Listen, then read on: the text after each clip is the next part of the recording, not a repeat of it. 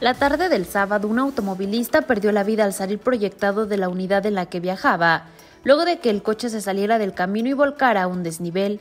El fatal accidente se registró en la salida de Lázaro Cárdenas a la autopista siglo XXI, en las inmediaciones del sitio conocido como el Trébol, donde un auto Chevrolet Aveo acabó destrozado al interior de un terreno, a unos metros de la carpeta asfáltica. Hasta el sitio se desplazaron paramédicos quienes confirmaron el deceso del susodicho, cuyo cadáver durante la volcadura salió proyectado y terminó tirado sobre la maleza. De forma extraoficial, el difunto fue identificado como Noé González de 35 años de edad, quien presuntamente se desempeñaba como custodio.